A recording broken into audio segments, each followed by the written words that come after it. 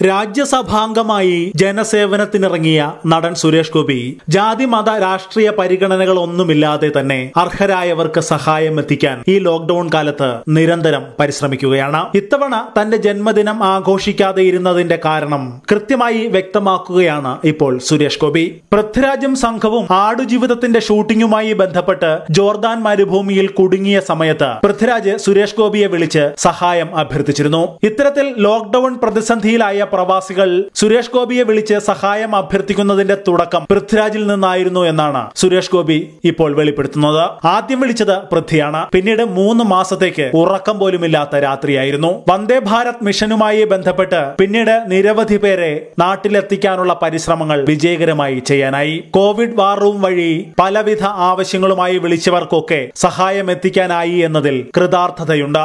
ഞങ്ങൾക്കൊരു സുരക്ഷ വേണം. നാട്ടിലെത്തുമ്പോൾ എത്താൻ കഴിയട്ടെ എന്ന് ആദ്യം പറഞ്ഞത് പൃഥ്വിരാജാണ്. ഐശ്വര്യപൂർണമായ തുടക്കമായിരുന്നു അത്. അന്നു മുതൽ മൂന്ന് മാസക്കാലത്തോളം ഉറക്കമില്ലാത്ത രാത്രികൾ. ഇത് ഒരിക്കലും അണമുറിയാതെ തന്നെ ഇങ്ങനെ വന്നുകൊണ്ടേയിരുന്നു. ലോകത്തിന്റെ പല ഭാഗങ്ങളിൽ നിന്നും അവിടത്തെ പകൽ സമയങ്ങളിൽ നിരന്തരം ഫോൺ കോളുകൾ വന്നു. മിക്കപ്പോഴും ഇവിടെ പാതിരാത്രിയിലാണ് കോൾ എത്തുക. അതുകൊണ്ട് തന്നെ മൂന്ന് മാസം കൊണ്ട് എന്റെ മാനസിക ഘടന പോലും റീസ്ട്രക്ചർ ചെയ്യേണ്ടി വന്നു. ഉറക്കമില്ലാത്ത രാത്രികൾ.